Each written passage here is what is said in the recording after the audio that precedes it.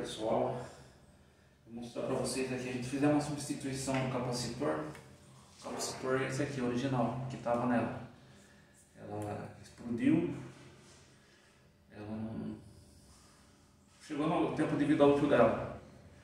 Então vou mostrar para vocês. Esse aqui é o capacitor substituto que nós colocamos. É, ele tem a mesma propriedade desse daqui, né? E o que eu quero mostrar para vocês, esse aqui é 400, é 400, esse também é 400. Mais uma coisa que eu quero colocar para vocês aqui, que o pessoal fica perguntando o que, que é essa numeração que tem aqui, ó. 25, 85, 21. Temperatura mínima, massa, temperatura durante 21 dias. O pessoal pergunta isso daí. Essa máquina aqui, é, é, o sistema dela é simples. Muito simples esse daqui. O segredo está em fazer a ligação aqui na contatora.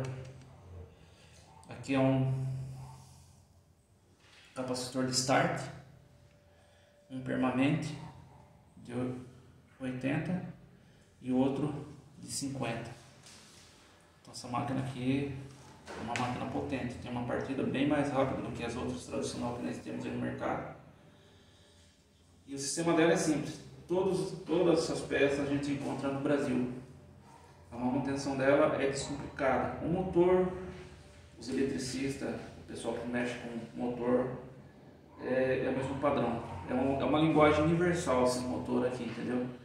E, o, e a linha de transmissão aqui também é a mesma coisa. Isso eu quero deixar para vocês aí.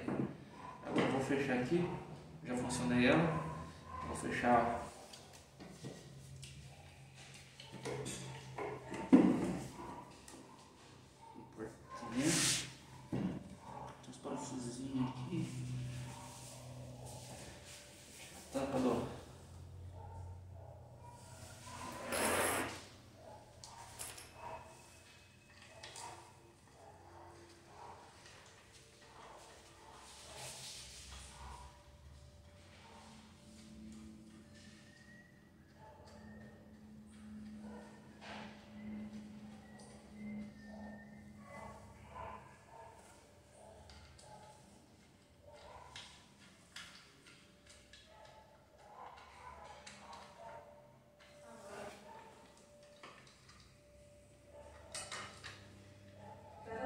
13